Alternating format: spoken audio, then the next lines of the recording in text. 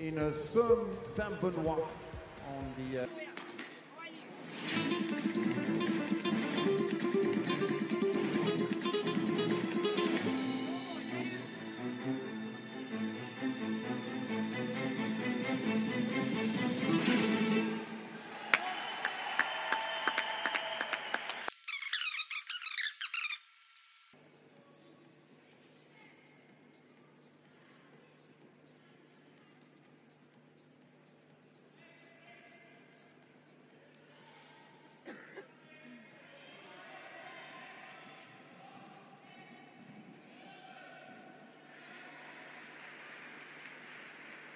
Colin Liviard,